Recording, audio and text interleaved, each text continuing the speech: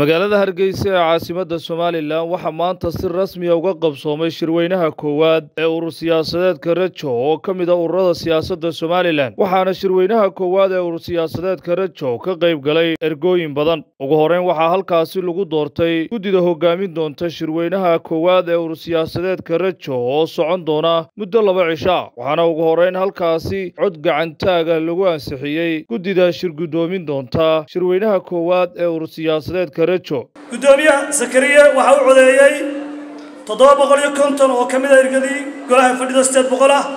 Waxaa ka aamisay waxaa ka aamisay toban waxaa diiday afartan. Guddoomiye ku-xigeenka yaxye waxaa u codeeyey lix boqol iyo konton waxaa ka aamusay boqol waxaan codayn konton. Waxaa diiday konton. Sagal cabdiraxmaan waxaa u codeeyey toddoba boqol iyo siddeetan.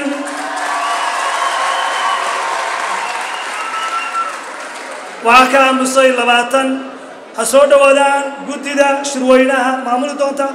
Waxaan ku wareejin doonaa xeer hoosaadkii urur siyaasadeedka rajo barnaamij siyaasadeedkii ajandii shirka oo a qaybsan oo qaybinay iyo siifiyadii musharixiinta hoggaanka sare lagu dooran lahaa ha soo dhawaada guddiga zakariya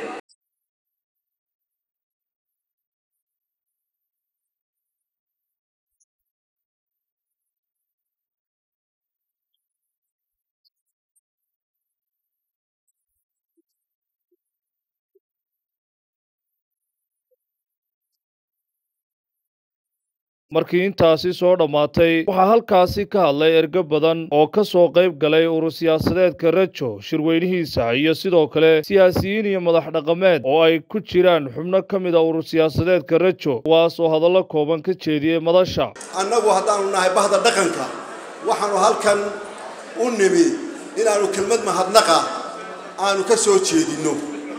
Waxa weeye aad iyo aad baanu waxaan ugu mahadnaqaynaa ururadan. Waa rajada ummadda. Waxaana rajaynayaa guddoomiye cabdilaahi oo aynu doorannay inuu inagu filan yahay oo aan rajaynayo inaannu wada ahayn aasaasayaashii xisbigii naga abaalka dhacay ee aanu ka soo wareegnay. Aad garanaysaan magaci xisbigan ururkan rajo. Waxa weeye urur maaha qof leeyahay. Waa urur somalilan dadka degan oo dhan ka dhexeeya. Shaksi ma leh. Waxa weeye haddii ururada kale ay leeyihiin dad mulkiilayaali ururkan cid mulkiila oo ah ma jirto. Waxa weeye waa urur ka dhexeeya shacabka somalilan oo dhan saqiir iyo kabiir. Mudanayaal iyo murwoyin waxaan idiin sheegayaa maanta waa maalintii koowaad ee ururkeena rajo rajo shacab. Waxaa farxad weyn inoo ah maanta oo maalintii koowaada rajo waxay siinaysaa caafimaadka danyarta ah. Rajo waxay caafimaadka aanay ka gooynin ninka taajirka ah. Taa macnaheedu maaha dadku inay xagga arsaaqadda ka siman yihiin. Laakiin waa inaanu gaab weyn oo ummadda u dhexeeyaa jirin.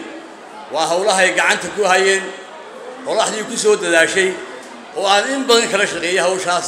Kala saarka salaadiinta aqoon-yahaniinta hooyooyinka dhallinyarada hablaha hoolka soo buuxiyey ee rajo taageeray. Waxaan halkan ka hadli doonaa haddii aan la idhaahdo kaalinta aqoonta maadaama aan ahay brofessor jaamacada dhiga waa inaan idiin iftiimiyaa. Rajo halkay ka taagan tahay qorshaha ugu dambayntii waxaa hadalka soo xidhay guddoomiyaha kumeel gaadhka ah ee urur siyaasadeedka rajo siyaasi cabdilaahi dahab oo hadallo duurxula ka jeediyey. Kana hadlay inta uu shirweynuhu sii socon doono. Shirkan waa shirweynihii koowaad ee urur siyaasadeedka rajo inoo qabsoomay bishii sagaalaad laba kun labayo labaatan afar iyo tobankeedii. Berritana uu noqon doono qaybtii labaad aynu ku ansixin lahayn barnaamijkii aynu diyaarinay ee ahaa hoggaankii maamuli lahaa ama wadi lahaa arrintaa ballaadhan oo ah hoggaankii xubnaha oo ah golihii dhexe oo ah lafdhabartii ururka oo ah fulintii oo ah maskaxdii wadi lahayd ururka ayaynu berrinta hadduu ilaahay yidhaahdo ansixin doonnaa waa shaqada inoo taalla. Walaalayaal waxaynu ognahay qarankani halgan dheer buu soo maray boqol sano ku dhow oo gumaysta ah ayuu ku jiray. Halgankaa ummaddu aad isuma dul taagto laakiin anigu maalin walba waan milicsadaa. Waa boqol sano oon ciyaar ciyaar ahayn. Qarni baa soo maray ummaddan laga xayuubiyey. Awooddii dadnimo ay lahayd laga qaaday oo la gumaystay. Gumaysigu ma aha in dhabarka laga raro keliya. Waa in arrintaada la maamulo. Adiguna aad ahaato taxta hada raaya yacni aad hoos joogto calanka calankaasi wuxuu inaga feedmay lixdan sano ka hor waa ogtihiin. Intuu la soo maray hore dhibahaad waa ogtihiin. Dhibkaa dhib kale ka dambeeyey. Mar dambaynu soo noolaannay oo eighteen may ninety one aynu qarannimadii dib u hellay innagoo waxaasoo dhibaataa soo marnay boqolkaas sano iyo wixii ka dambeeyeyba.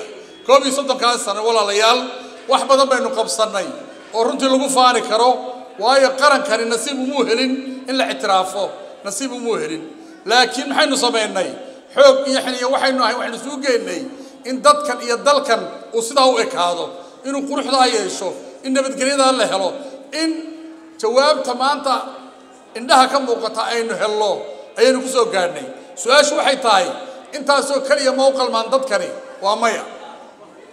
Meel fog baynu weli joognaa. Marka loo eego facii qaramadii qaatay lixdankii xorriyadda qaatay halkay marayaan sharaftooda ciidamadooda qarannimadooda dadnimadooda caafimaadkooda waxbarashadooda shaqadooda dhaqaalahooda. Halkay marayaan marka loo eego gaabis aad u weyn baa nagu jira